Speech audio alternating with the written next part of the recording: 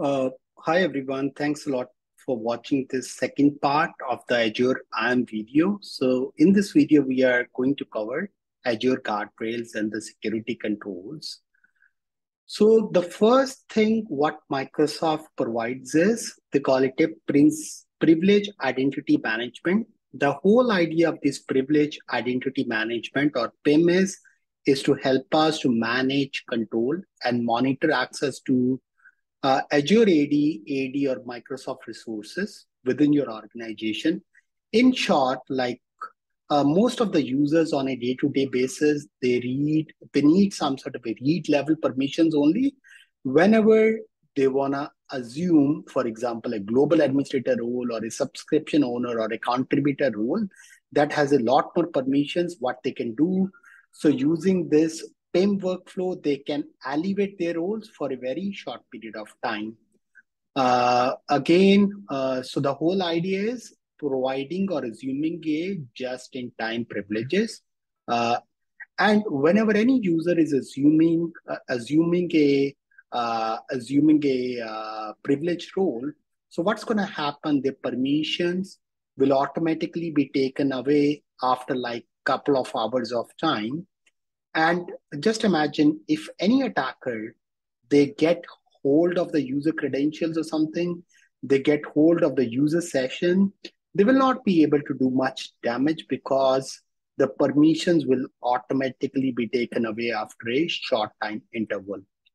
So behind the scenes, what Microsoft Azure do whenever you are going to enable a PIM for the Azure resources, it will create a MS PIM user and it is going to put that user into the user access administrator role onto the Azure, uh, Azure, Microsoft Azure site.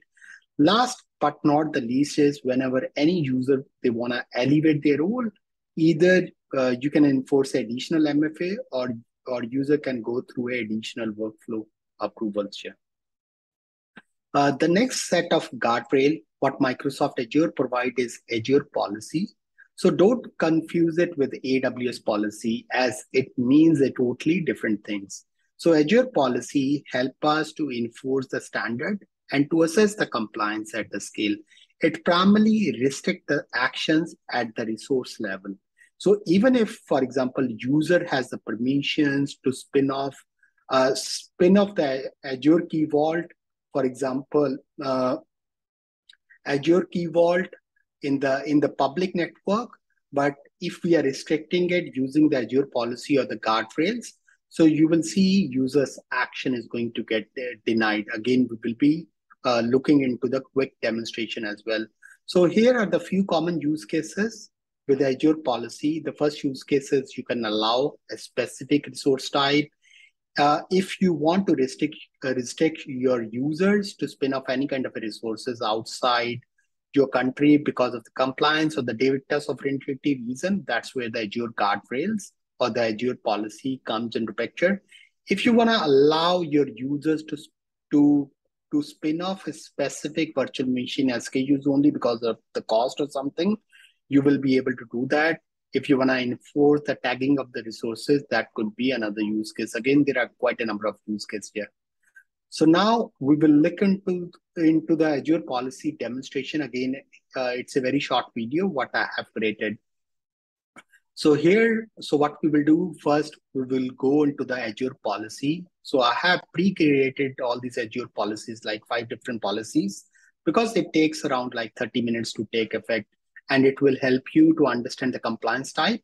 If you look at the view definition, you will be able to understand, hey, what these entire JSON and what exactly uh, you are trying to do. And another thing, what you can do, you can go to the edit assignment, you will be able to see a lot more details. So here, if you see, I have assigned this policy at the tenant root group. Okay, it will get inherited to all the child resources. So here I'm just allowing, hey, for the this particular resource, uh, it can spin off only in this specific like 12 countries, and then I'm providing a reason or something. So this is one of the Azure policy going to look like. Then I've created another policy for the Azure uh, resource groups. Again, I have applied this policy at the tenant group. So here I'm just allowing to spin up the spin up the resource groups only at four specific locations. Asia, Asia Pacific, Southeast Asia, and so on. Then uh, I have enabled the purge protection.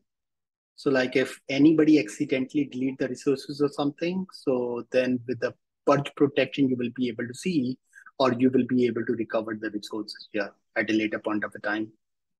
And the last but not the least, ideally, you shouldn't be spinning off any of the resources on the public uh, subnet. So especially the resources like Azure Key Vault or something. So that's where I have enabled a, a different set of policies. So now I'm going to go to the subscription. I will try out performing a couple of different actions here. Uh, this particular user is already a owner role. So as a user, from a user perspective, it has all the permissions available. So here, the first error you see, I cannot spin off any kind of resources in the East US here. So, so this is the first thing, what we see. And now we will try to spin off another set of resources, probably Azure Key Vault. Yeah. So once we try to spin off this Azure Key Vault, and you will see uh, the first error we got, we cannot spin off in the East US because we have already configured a policy. And then you can define a name or something, the key vault name. So here I'm just defining a test policy. Uh, so here the project purge protection is disabled as of now. And then on the networking, I'm setting it to all networks at the moment here. So once I click on a review and create button, uh, you will see the validation has been failed because of two different policies. The first policy, the key vault should have the purge protection enabled, and we should be disabling the uh, access here, public access here. So here I'm just selecting private endpoint as an example here. So here you will see, so once you do that, all your validations are going to be uh, to pass here. So that concludes the Azure policies uh, brief demonstration. So then within the Microsoft Azure, they provide another very interesting thing. They call it a Azure Locks. So what it does, it can help you to provide a additional layer of protection from accidental deletion or modification. Here are two different categories type. The first category type is called cannot delete. It can help authorize users to read and modify a resource, but can't delete a resource. The second type is called uh, read only. You cannot even modify or delete the resource. The only thing what you can do, you can simply read, read the resources. Yeah.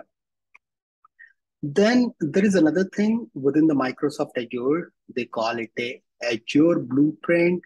So it primarily comprises of your Azure resource scope, role assignment, different pol uh, policies, and the resource manager template deployments.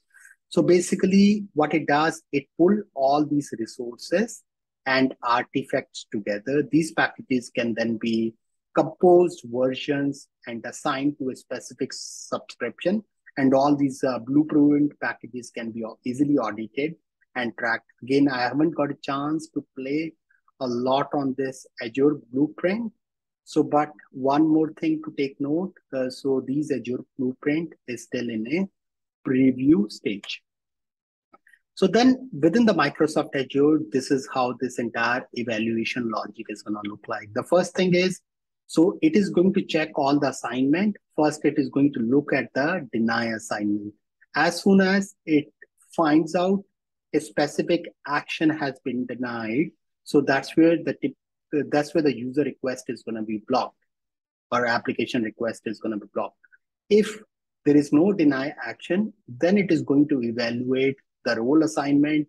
If a specific role has been assigned to the security principal, if all the conditions has been met, the access is going to be allowed. For example, if there is no role assignment has been uh, has been uh, given to the user or uh, there is some condition user is not meeting uh, meeting so that's where access is going to be restricted to simply put like any other cloud service provider in the Microsoft Azure also, they support a explicit deny, uh, explicit deny, allow, and then implicit deny, deny uh, implicit deny.